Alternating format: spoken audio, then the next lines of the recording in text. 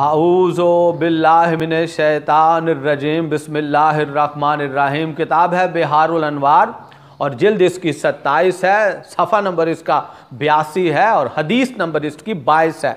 जनाब अबू ज़र गफ़ारी रज़ी अल्लाह ताला हो पूछ रहे हैं, या रसूल अल्लाह इस्लाम क्या है? आवाज़ नबी मुअज़्ज़म आई। इस्लाम बरहना है, बेलिबास है। इसका लिबास तकवा है। इसकी जीनत जो है इस्लाम की, वो हया है। इस्लाम का एक जोहर है और वो है गुनाहों से परहेज़ करना। और इसका जो कमाल है, वो दीन है। इसका जो फल मिलता है ना, फल, वो अमल है। और याद रखो अबूज़र हर चीज़ की एक बुनियाद होती है। बुनियाद। हर चीज़ अपनी बुनियाद पर कायम है। इस्लाम भी अपनी बुनियाद पर कायम है।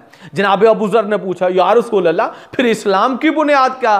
तो रसूल खुदा ने जवाब दिया, इस्लाम की बुनियाद मेरे अहले बैत से मोहब्बत है।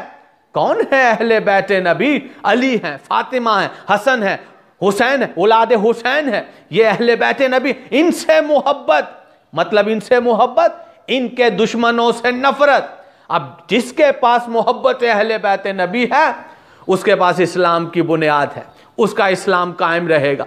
जिसके पास ये मोहब्बत अहले बैत नबी नहीं है, उसके पास इस्लाम की बुनियाद नहीं रहेगी।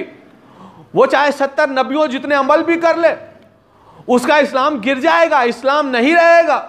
जब उसके पास इस्लाम ही नहीं रहेगा तो फिर उसके पास ना कोई अमल रहेगा। ना कोई उसके पास दीन रहेगा, ना कोई उसके पास हया रहेगी, ना उसके पास कोई तकवा रहेगा, ना वो गुनाहों से परहेजगार, यानी वो परहेजगार भी नहीं रहेगा तो उसके पास दुनिया में कुछ भी नहीं रहेगा तो जिसके पास दुनिया में कुछ नहीं रहेगा, यानी बुनियाद इस्लाम, मोहब्बत अहले बैत नबी नहीं रहेगी उसके पास हशर में भी कुछ नहीं रहेगा। यानी हशर में जिसके पास मुद्दत अहले बैत नबी मोहब्बत अहले बैत नबी नहीं होगी तो उसके लिए जन्नत नहीं होगी। उसके लिए क्या होगा? उसके लिए अल्लाह फरिश्तों को हुक्म देगा, इसके पास मोहब्बत अहले बैत नबी नहीं, मोहब्बत अहले बैत नबी नहीं है।